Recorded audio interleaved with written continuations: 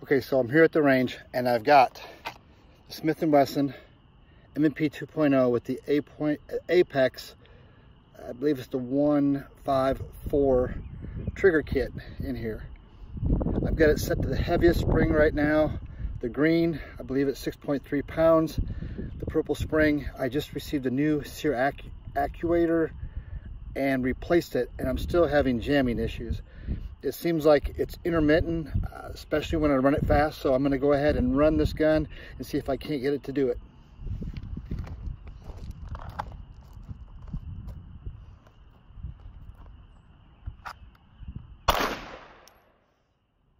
Dead trigger.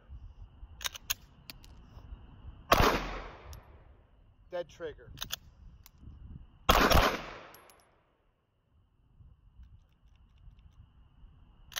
Dead trigger.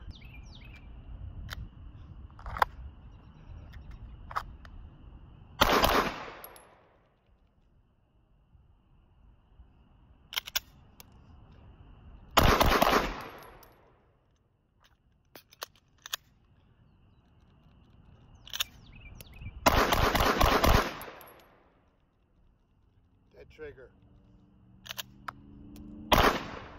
Dead trigger.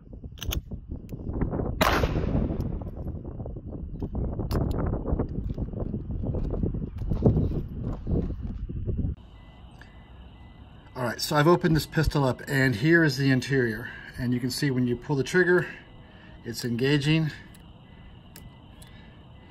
You can pull the trigger, push it over. It goes back in and engages.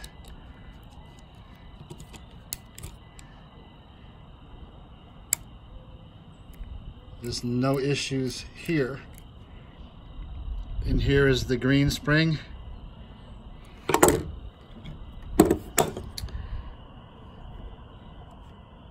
All their pieces. This here is a piece that they uh, they give you with the gun, and the kit.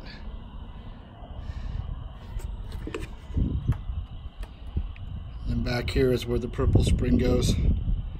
Back in this kit, you really can't see it. It's underneath. Uh, it's underneath this part here.